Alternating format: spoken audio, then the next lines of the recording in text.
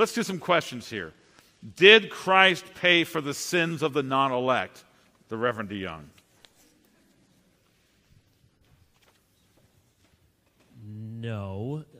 It's, it's complicated.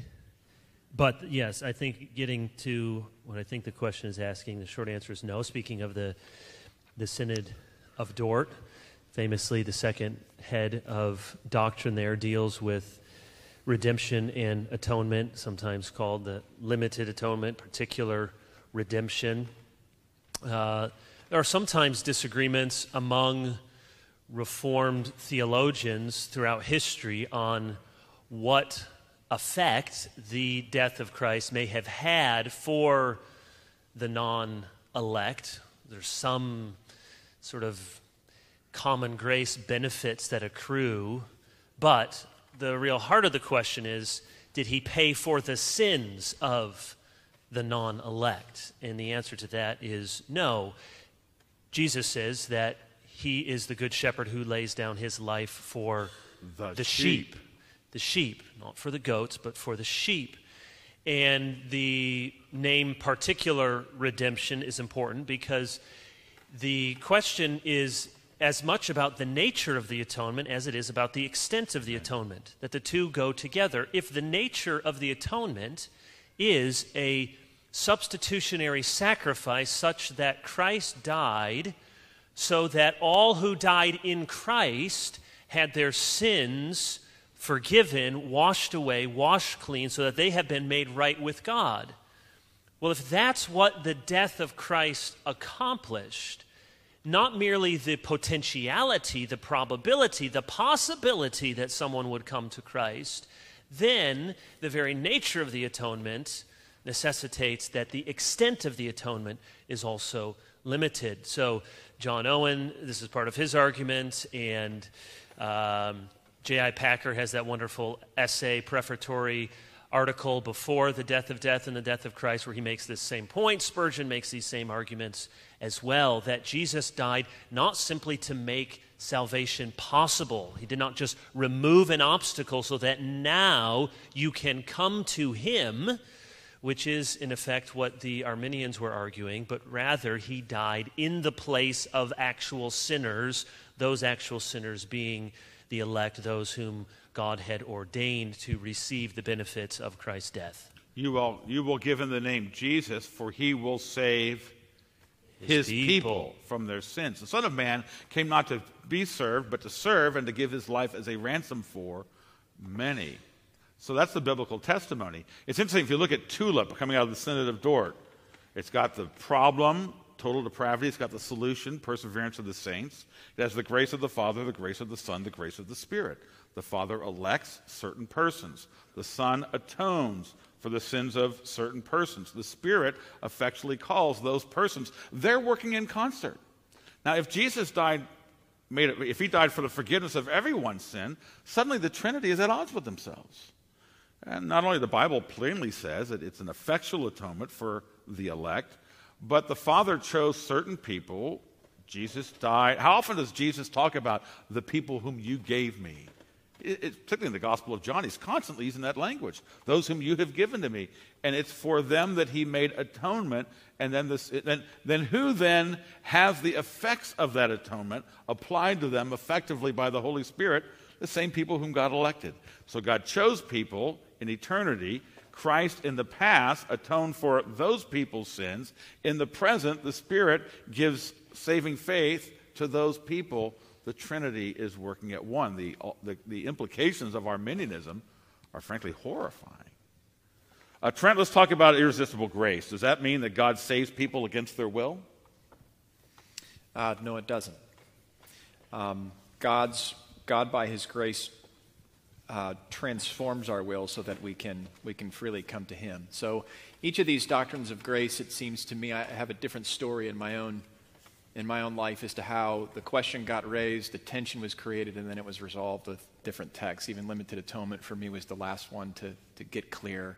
The Lamb's Book of Life, uh, the priesthood of Jesus. He died, his work is perfect so that it accomplishes all that he means Amen. for it to accomplish. So Revelation and Hebrews were the ones that crystallized that for me. Irresistible grace, that's a perfectly legitimate question. You would you'd become a Christian and you would say, you know, I came, I, I came to, I heard the gospel message and I came to faith and I came and I believed, and that was a legitimate, actual experience of coming to God. You weren't, um, you weren't coerced, you weren't forced, you weren't puppeted. I thought the illustration last night that, that Kevin gave was just really wonderful. Um, so I think of I think of 1 Corinthians, 2 Corinthians 3 and 4. Our, our, we're blind, our eyes, are, our eyes are blind. We're blind so that we can't see light of the glory of God. And God, as He, in the same way that He created at the beginning of the universe, He does something equally or even more incredible in opening our eyes to see who Jesus is so that we can then come in faith. So we're slaves to sin in Adam. We are perfectly free to obey our every desire, and our desires at base are, uh, are like Adam's. We're, um, we're slaves to sin. But when God opens our eyes and gives us the new birth, then we have a capacity to believe, and we, and we do so freely, having been enabled to. So, uh, no, God doesn't. What's the? It's that question. Does He force our force will. our will. Yeah. He doesn't force our will, but he makes it possible for us to believe he freely. Gives us a new heart. Yeah, gives us a and then heart. that new heart makes us make them willing in the day of thy power. That's right. Uh, in Acts 16, God opened Lydia's heart. Now that's a sovereign act, Hmm. but the effect was she was willing. We were unwilling. God's Spirit regenerates us with the effect that we are willing, and so we are willing because of His sovereign power at work in our lives. You want to add anything to that? I agree. Let me give this one, Kevin. Since God ordains the ends and the means, can you explain how God grants us free will to participate in his plan? Free will is uh, you have to define free will. When theologians typically, formal theologians typically talk about free will, they are thinking about, first of all, whether the will is bound to sin or not. That's not exactly what I think this question is asking, but it's important to keep in mind when you read through systematic treatments of the will. Did Adam and Eve have free will in the garden? Depends on what you mean. Were their wills already bound to an inherited depravity? No, they weren't. Will our wills in heaven be free? Well, they'll be free only to choose what is good. Is the regenerate human will, regenerate persons here, is your will now free to choose and to move in the direction of ever increasing righteousness? Yes. So, strictly speaking, the freedom of the will has to do with the total depravity, that our wills are bound to an ever increasing wickedness apart from the regenerating work of the Holy Spirit. So that's what we mean by free will. Now, I think what this question is meaning is what philosophers or theologians might call a libertarian free will. So Arminians would understand free will, yes, that conversation with sin, but just do you have the power of contrary choice in your life? Can you make decisions such that they there are contingencies? And again, you have to theologians parse this out very carefully within the, the dome of this pilgrimage, this life that we live, certainly we all experience at least seeming contingencies. Uh, if you bring your wife flowers on her birthday, one sort of contingency will spin out. If you bring her nothing and you are absent that evening at a NASCAR event, another sort of contingencies will spin out. The Our- pastor in Charlotte speaks. you know, when I came and did my candidating sermon at Christ Covenant, I said anything I need to know when I come here, and they just said, "Don't say anything about NASCAR." So you come to Greenville to talk about NASCAR. I'm just trying to bring you know the culture down here. Nobody, there, there are not a lot of big NASCAR fans that I'm aware of at Christ Covenant. I'll say that. Uh, so there are there are decisions that we make that we all can see real life consequences. Now, are there decisions such that God is in heaven willing A And there is then the possibility of B happening. And the answer to that is no. Whatsoever God ordains comes to pass. That's not only Ephesians 1 10 and 11, but as we're talking with a brother here, that's a, a good hymn. Whatever my God ordains is right. Uh, Augustine said, The will of God is the necessity of all things. Whatsoever comes to pass, not a, not a, a sparrow from heaven, not a hair from your head. Of course, the Bible talks about the will of God in at least two different ways that will of decree and that will of desire, which gets to this question about the freedom of the will. Even Jesus uses the will of God in these two different ways, which is why we need to define our terms. On the one hand, he can say, whatever happens, it's the will of God. Hairs from your head, sparrows to the ground, the minutest detail in your life, God willed it, and yet He teaches us to pray, Thy kingdom come, Thy will be done. There is a sense in which the desire for God to have His commandments be obeyed is something that we pray for, even in the mysterious workings of providence. Those two wills are two sides of the same coin and complement rather than contradict. You know, I think that the expression free will is so loaded that I think it's really not serviceable. I agree. Because it generally means autonomous free will, which we do not have anymore. Uh, but I think, I wonder if the question was getting at this, Kevin. How is God sovereign and yet we have will? We have libertarian free will. How can a sovereign God who's ordained anything have us have real will? And can you explain that? The answer is no, we cannot explain that. And I mean that. The Bible teaches both. Uh, where God makes an end of teaching, let us make a learning. The Bible plainly teaches the absolute sovereignty of God. It teaches full power of contrary choice, well said, uh, volition that's real. Uh, how are they both true? I don't, I don't think anyone has ever given an explanation of that, and we don't need to give an explanation where God has not given an explanation. One thing you'll see is all, in every theological topic where the divine and the human, at the point where they interact, there's mystery the incarnation of Christ. He's one person, fully God, fully man. Where's that line? Don't ask me. You know, the Bible's the Word of God, it's the Word of man. We can see how it's both, we can see where it's both. How do they interact? There's mystery. And so we do not have an explanation. Uh, and I think we shouldn't be surprised that we don't have an explanation for how we have will, actual power of choice, in a world that God is totally sovereign on. It's a wonderful mystery. Uh, Trent, let me ask you a question. Well, let's, let's each do your favorite book, book you'd recommend on the sovereignty of God. Let's do it quickly. Kevin, name a book. Going to read one book? Come on. You were a young reformer. What? You were a young Calvinist, and you read. What book was it you read?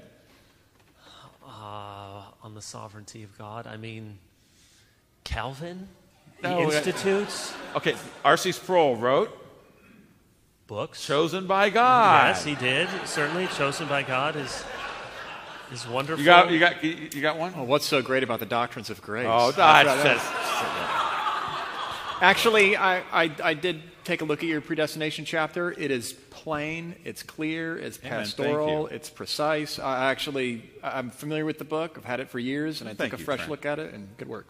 A.W. Pink's The Sovereignty of God is an absolute classic. Thank you. The sovereignty of, Kevin doesn't even care about that. So, uh, out of Grand Rapids, right? The, uh, what's, the other, what's the other classic I'm forgetting? Loraine Boettner on Predestination. Jeff, what's another great sovereignty of God book? I was on a bus one time in Philadelphia with a, a young woman who was uh, uh, sitting on the other side. She was, she was reading Ch- Chosen by God by R.C. Sproul. And I said, Hey, you, re- you enjoying that book? She said, I'm kind of confused. And she struck up a conversation, and she ended up becoming a member of 10th Pres. When she died, 15 years later, I watched the simulcast of her funeral. And uh, they mentioned at her funeral her reading R.C. Sproul, The Sovereignty of God, or Chosen by God, and me asking her about it. These books are powerful, even though not for Kevin. It's only Turretin. You shouldn't have said Turretin in the Latin? I was about to mention Turretin in the last question, and you went on to another question. it, if it, Rick is right. It is a mystery. If, wh- whenever you have mysteries and you want to get as close as you can to understanding the mysteries, read Turretin. That's true. So Turretin gives six different types of necessity in the human will. And you notice yesterday I was using the language quite intentionally neither external coercion or compulsion. So that's the, the, the, will is bound in certain ways and not in others, which is part of not unraveling the mystery or fully explaining it, but just giving the right sort of categories to, to say, how are we willing what we will? We do will something, even if there is a will prior to our will willing it. Turretin's amazing. It was recently translated into the English. It's a, it's a treasure. Uh, let's go back to you, Trent. Uh, explain the difference. Well, here's a question. Uh, how do we approach someone with help who's suffering, severely suffering, with the fact that God's sovereign? So, someone's suffering terribly. How is the sovereignty of God a help to them? Psalm 46 comes to mind.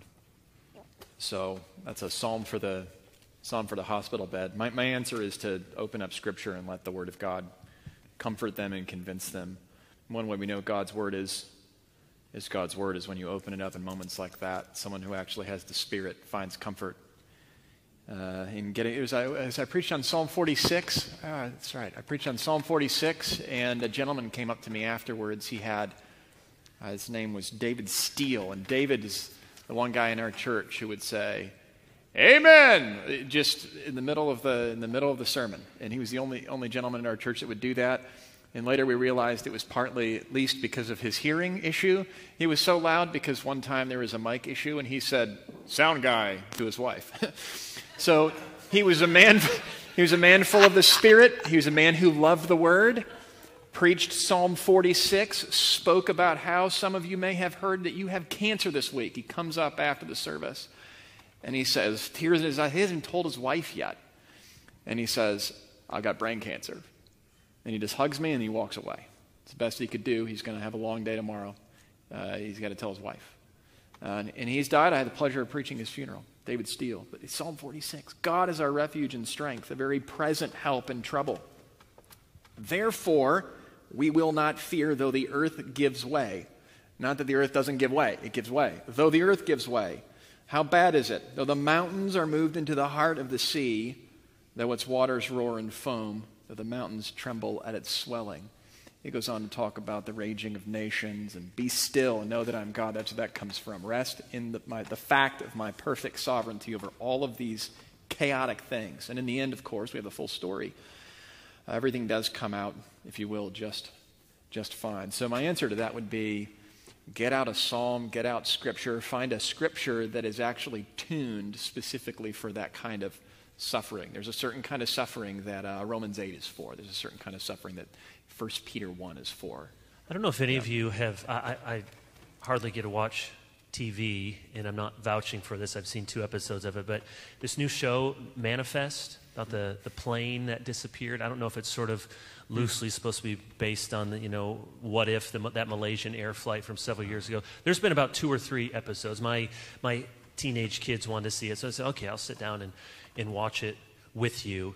And so the premise of the show is that five years ago in 2013, this flight went off and hit some storm, and something happened, and then they landed back and uh, in, in the states, and now it's 2018 and five years have elapsed except for them. They're all the same age. They're all and it's sort of what, what, what happens and people got remarried and lives moved on and what's different and there's sort of these mysteries unraveling.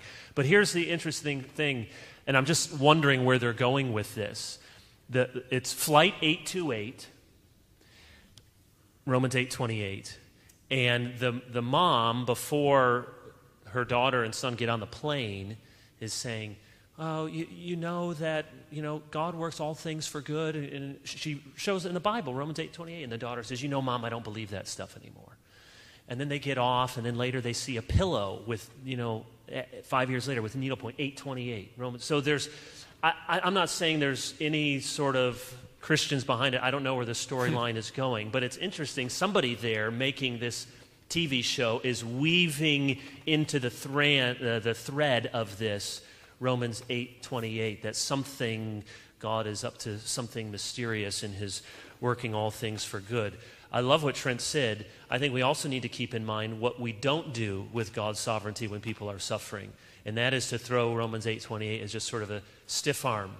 You know, people crying, 828, all things for good. Remember, remember. You know, Paul Tripp helpfully says when we encounter people with any sort of issue, love, know, speak, do. So generally, that, or, okay, am I loving you? Am I hearing what's going on? You know, the brother who's coming up crying, you know, you, you need that. You need to know. You need to know what they're facing. And then you, you come to a point where you speak. And maybe that's five minutes, maybe that's five seconds, maybe that's five weeks. Uh, sometimes we can be clumsy with the sovereignty of God. And it's a way of saying, stop hurting. Stop feeling what you're feeling. You're making me uncomfortable. You should get over it. You should see that God's up to something good. All of those truths are wonderfully precious, and we need to be reminded of them. But there's, there's many times and ways and places to do that that are helpful and some that are unhelpful. Amen. And yet, the sovereignty of God is not only a comfort when we're severely suffering, it is the greatest comfort. What would it mean if, I, if this was just randomly happening to me? If God is not sovereign over this, what is? Face, heartless, faceless, mindless cosmic forces? Because I know God. This is where Paul's getting at Romans 8. He who, you know, he has already given his son how will he not also, together with him, graciously give us all things? And so while I don't understand and I don't see how this can be, and it's tragic and, and crushing to me, because I know that God is sovereign, but he's sovereignly for me, and I prove that by having his son die on the cross for my sin. And so I know there is a redemptive purpose. There is a good end. There is a wisdom guiding it. Now, that doesn't, you're absolutely right, that doesn't take away the tears, but it sanctifies them. And if God was not sovereign, well, then uh, at whose mercy am I? I want to be at his mercy because I know him. And what a comfort it is that God is sovereign. I find pastorally all the time people going through real griefs and disappointments, sometimes crushing trials. What a blessing it is that God is sovereign over this which means Romans 8:28 is true that he's going to do it. We're going to end up praising him. Um, it's the greatest comfort we have. Uh, I'm really back to you, Kevin. So, is the sovereignty of God an excuse for an unholy lifestyle? Me genoito. yeah, may it, may it never be. Uh, the sovereignty of God is the the enabling power we have for a holy lifestyle. And this is where we need a biblical definition of freedom. Freedom is not my ability to do whatever I want to do, but freedom is God's given ability in my life to do what I ought to do. So remember the story of the Exodus. It's not just let my people go. Well, Charlton Heston said that very powerfully but it was let my people go that they may go into the desert and serve me. It was always freedom for the purpose of worship. And so the freedom that we experience from God is not the freedom from just constraint. It's the freedom from the power of sin, freedom from the penalty of sin, and it's the freedom not only from but to. That freedom leads us to worship and to obey. For he chose us in Christ before the foundation of the world that we might be holy and blameless before him. So, what you're doing is you're invalidating your claim to be elect. Now, we're all sinners, but we're not, but this kind of celebration of it, seeing, oh, because God's sovereign, now, see, I, what I want to do is, is sin. Well, you know, you can be, it's one thing if you're struggling with sin, it's another if you're not struggling with sin. And so the mark of the elect is holiness. And they will all in the end be holiness. So that position is utterly contrary with the biblical uh, presentation. And of course, election is tied to the other doctrines, like regeneration. And so the person who's thinking about his or her own election is someone whose heart's been regenerated and born again, union with Christ. So uh, it's a very alarming argument for people to make if they mean it. Uh, what about the uh, influence of the doctrine of the sovereignty of God on worship, Trent? How does uh, God's sovereignty change or affect our worship? two passages come to mind. First is Romans 12. So, in view of God's mercy, what kind of mercy? Well, the mercy we heard about last night, is even his electing mercy, his sovereign mercy. Um, offer your bodies a living sacrifice of worship. So, certainly, all of life is worship, and that flows from the experience of God's sovereign mercy. But then, even uh, I'm thinking of the passage just preached this morning, 1 Peter 2, the living stone, the cornerstone, the stones that join to it become living stones as they're joined to the, to the living cornerstone himself. And we're a, we're a worshiping community. I don't know that that describes the, the gathered church, but the church is itself a worshiping assembly, a worshiping community. And its, its capacity to know God, its, its freedom from the, forgive, from, from, the, from the penalty of sin, um, its new hearts to desire God and worship Him are all a gift of His grace. Um, and it's, uh, yeah, so our worship flows from our experience of God's sovereign mercy. Do you want anything? Yeah. It, it, yes, and amen. And it affects our worship in all the things that we won't do because we know it's not dependent upon us. The Spirit does not require a certain shade of lighting to regenerate the heart. The Spirit does not require a fog machine. The Spirit blows where He wills. And so it doesn't, I mean, we still speak in English if people understand English. We still have certain, you know, we, we dress a certain way appropriate for our culture. We're not blind to those things. But it is to say that we are not thinking, how must we design worship in order to get this desired effect? We love effects. We love affections. We love change. We love conversion. We pray for it. But believing that it's a sovereign work of God means there are things that we don't do. And it also gives us hope for the things that God will do. And this is as, as much for pastors as for anyone. And I know there's some pastors here and other students and people studying to be pastors. We need to be, I need to be reminded of God's sovereignty as much as anyone because how many times do we get done preaching and we think, uh, that did nothing. I remember hearing Sinclair Ferguson preach one time. I thought it was a marvelous message where he just, you know, he expounded the, the Trinity and the recesses of eternity past. It was so massive. I thought, were you there, Sinclair? How did you? I mean, it's just, it was just beautiful. It was just wonderful. And I, he must have said, Sinclair, thank you for that wonderful exposition. And you know, regaling us with the glory of the Trinity. And he said, Oh, Kevin, that sermon was a dog's breakfast. and I thought, Your dog eats very well. That's good. But I thought, I felt some encouragement because I, i I feel that every Sunday, I don't know if it's real humility or false humility or the devil or just realism about my sermons, but feel, oh, was that a waste of time? Did that do anything? That sermon could have been so much better. Another few hours, I could have had a better illustration there. I don't like the connection there. Some people seem to be sort of dozing off there. And you have to be reminded did I preach Christ? Was Christ lifted up? Was the Word of God proclaimed? Is God sovereign? All the things that we believe, all the things I teach students and interns, I need to be reminded of weekly. We, we need these doctrines as ministers as much as anyone. Amen. And the sovereignty of God is going to make our worship God centered in all things. The seeker sensitive movement, I mean, think Rick Warren's purpose driven church, you go out and you survey your community, find out what they want, and give them what they want in your worship, and they like your worship. Well, that assumes the sovereignty of the customer. And I don't mean that as a cheap shot, that's just what's going on today. And if we believe that God is sovereign, and so pleasing Him is what really matters, we're going to worship in, in a way that His Word commands. We talk about what we call ordinary means of grace ministry word, prayer, sacrament. That's what we do. We don't show videos, no monster truck drives in. There's no stage set in the ceiling for, you know, people to come in to impress people. We read the Bible, we pray the Bible, preach the Bible, we pray the Bible, we dramatize. We have a drama ministry. It's called Baptism in the Lord's Supper.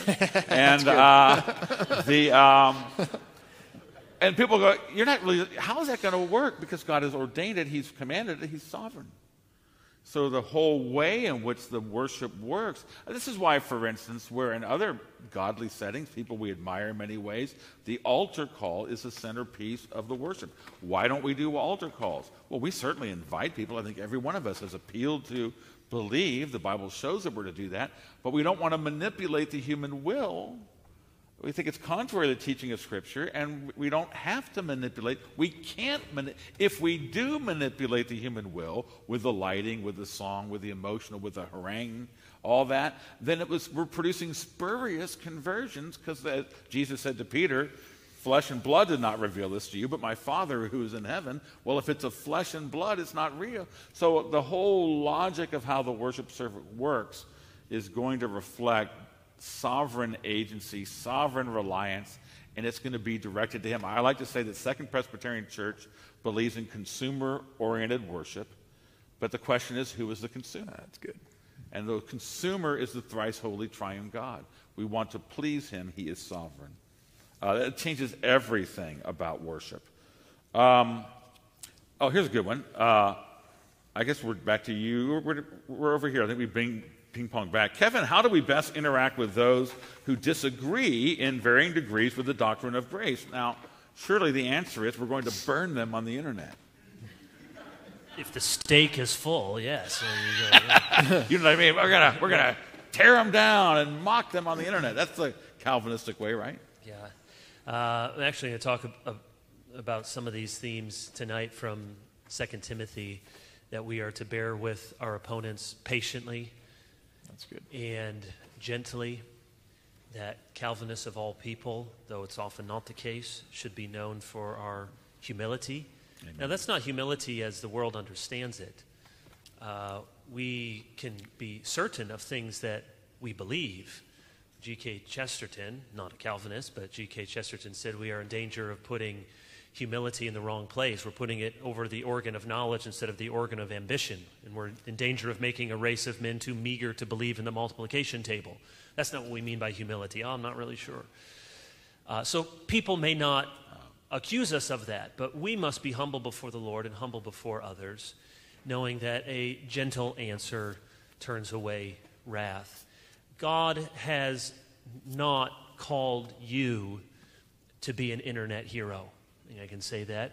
Most everyone here. He has called you, first of all. You have family, you have friends, you have church, you have people that are under your, and then perhaps there are wider circles of, of people that look to you for influence or for direction.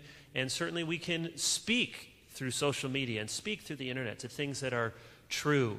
We must always do it in a way that is seasoned with salt and kindness.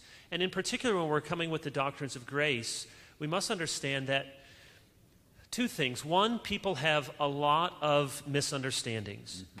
For a whole segment of people, uh, many times Baptists in the South, if you resemble that remark, I love you, but many times it's true. Calvinism, Reformed theology equals what? Don't evangelize. Now, we've heard why that's not the case, but for many people, that's what it equals. So you start talking about these things, they think you don't care about missions, you don't think about evangelism. So you have to work through that misunderstanding. Second, the objections, though they may come by way of intellectual arguments, are often emotional objections more than even intellectual objections. So if you just go at the level of, I got another verse and another verse and another verse, and I did this, I mean, I I set people up when I was in college and was really getting a hold of these doctrines of grace. They were getting a hold of me and would ask people a, a question. And so then they'd say, well, well, then, you know, how, how, how can, I mean, isn't God unfair? And then I would turn to Romans 9, who are you, oh man, to talk back to God? There it is. There's the answer. people walk away crying, and I sort of feel like doing my bit.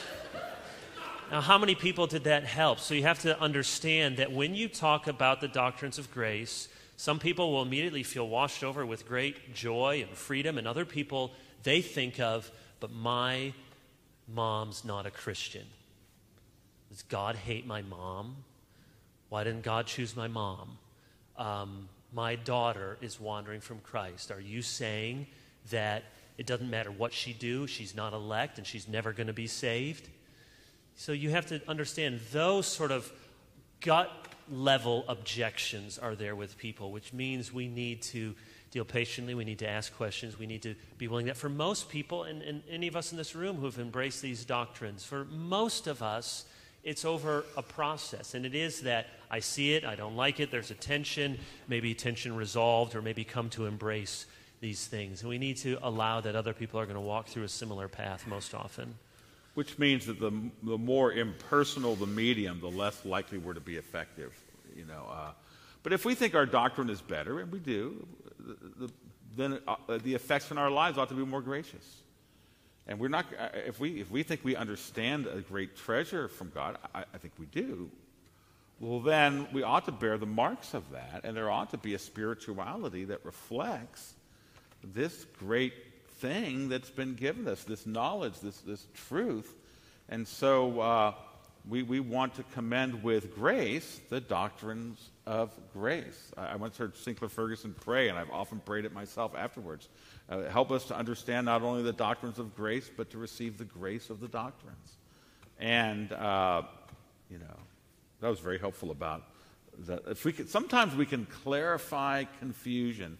That's a valuable thing to do. Uh, but uh, we want to be careful. Trent, it's, you want I was going to ask you guys you know, books. So, Sovereignty of God, Election, and all those are good. And Sproul and Horton and all the things you, uh, I've read those. I do believe in books. Which one of those, or maybe a different one, would be best if someone here is just, I'm wrestling with it, or I got a family member?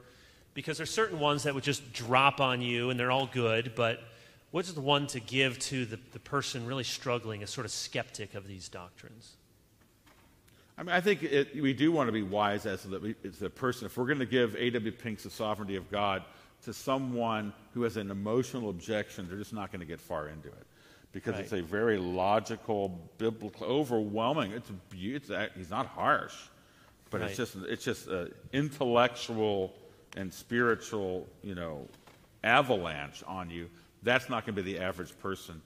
I mean, I think uh, Sproul is going to be much more relatable. Actually, I wrote my book, What's So Great About the Doctrines of Grace, to be short and to be something you would give to someone who had initial questions about it.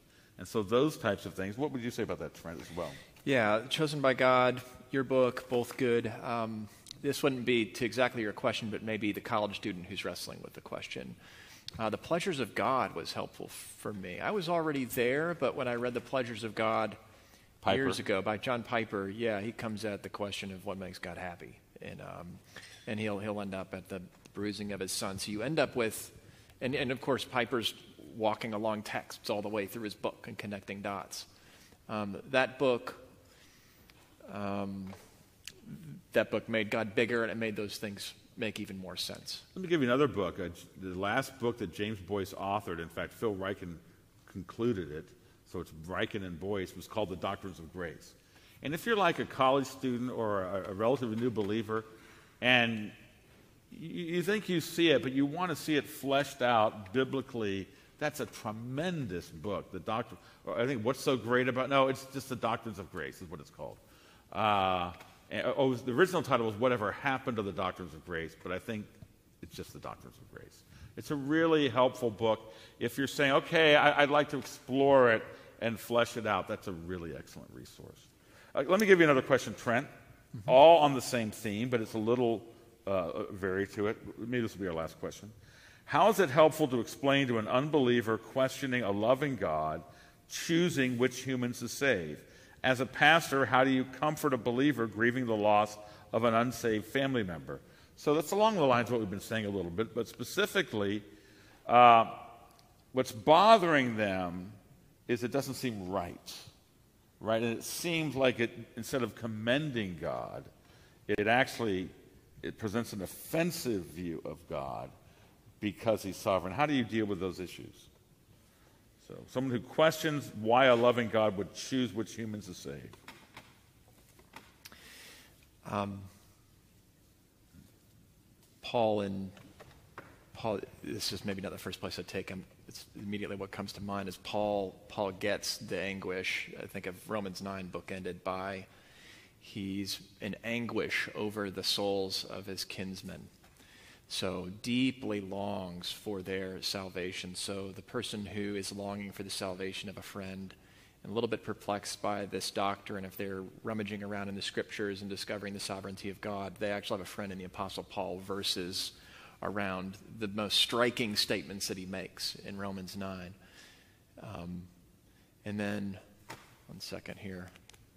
And then right at the back end of Romans 9, Romans 10. Yeah, brothers, my heart's desire and prayer for them is that they may be saved. So, I mean, in some ways, this person needs some listening and some time and a coffee and then another coffee and then to keep coming to church and keep reading the Bible. Um, because there's a theology of prayer to be developed, and these things don't happen overnight. So, a person struggling with the doctrine of election and their lost friends, um, I can relate with that. I mean, the- theologically, uh, you know, uh, the only I think of my my own father who doesn't know the Lord. So early on as a Christian, I would my anguish and my consternation and my difficulty was over how this could ever happen. As I grew in my theology, as I came to understand how I became a Christian in the first place, it didn't relax me with respect to his salvation or the salvation of a friend, but it actually gave me confidence that now that I know our actual problem, that explains why a person's heart is hard in front of me. And now that I know how I actually got saved, I can actually believe that this can happen. Amen. So I have, I have at the same time no confidence that my mere words, human words, or his, or a, or a friend or a family member's human experience of those words can bring them to salvation. So there's no place for coercion or restlessness. And I think that early on as a Christian, even in some of my evangelism, there was a restlessness which was a bit repelling, and most of us can relate with that.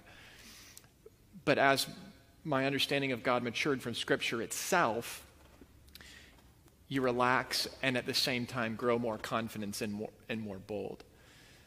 Um, so you mentioned a second person who's speaking of somebody who died who's an unbeliever, and my I mean, only word there is that there's no comfort in death for the lost. I mean, from God's word, there's no comfort. So the best we can do is thank God that there's time for us to believe and then to preach the gospel and pray for those that, that are still alive and have breath. You know, I like to say at some point we've got to lay down our humanism and embrace God's theism. what I mean by that is humanism says the greatest good is what is the greatest for the most humans.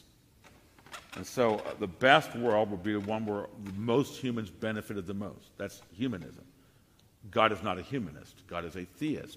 The Bible teaches that the greatest good is the greatest display of the perfections of the glories of all of God's attributes. So we think it would be better if no one went to hell, humanistically. But the Bible says no, God is glorified in the display of his wrath. And he glorifies an attribute by exercising that attribute.